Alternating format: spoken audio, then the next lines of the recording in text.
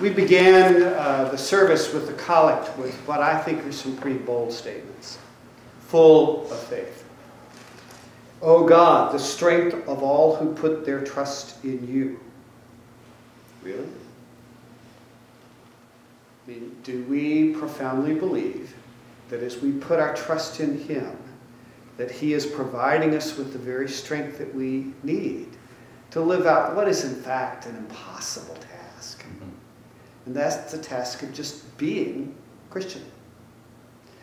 Um, it seems to me that the fact that God can provide that strength for us has been demonstrated to us in Jesus.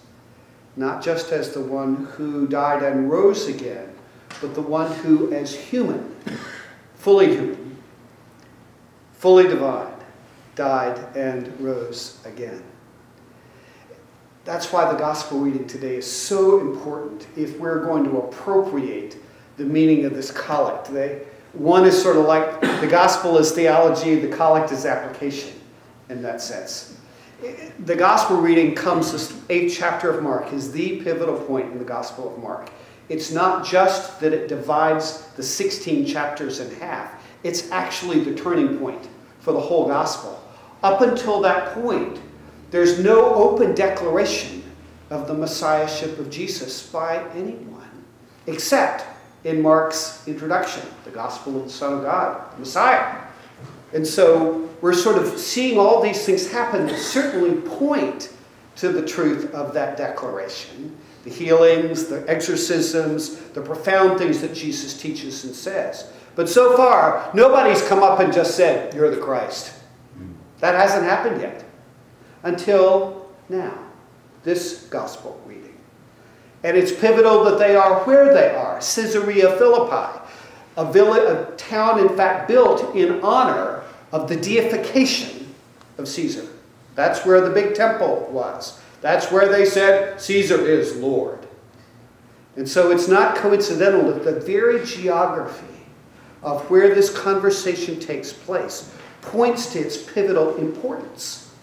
That Jesus, to call Jesus Lord, to declare him to be the Messiah, the Christ, the Son of the living God, is both the heartbeat of Jesus' message and the heartbeat of our faith.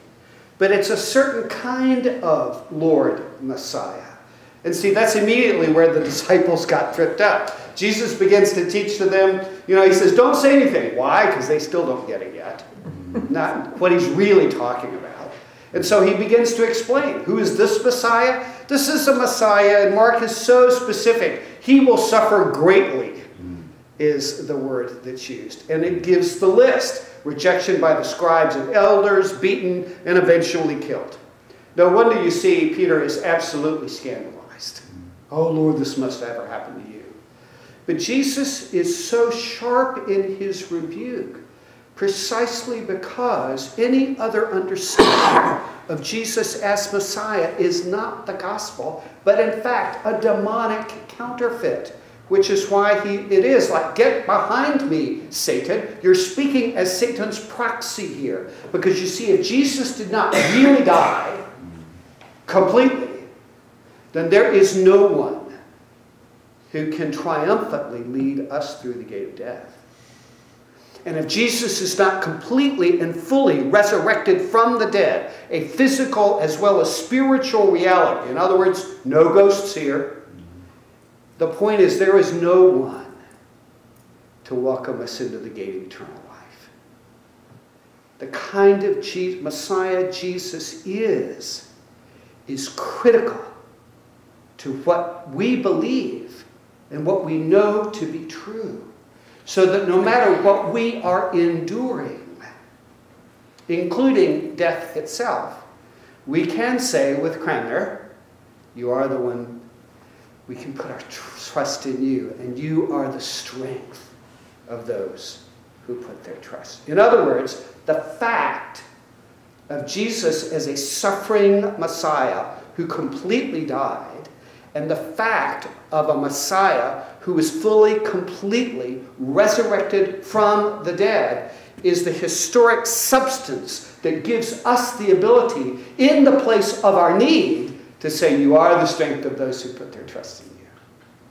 Because He has done everything necessary to pour out upon us the very strength that we need.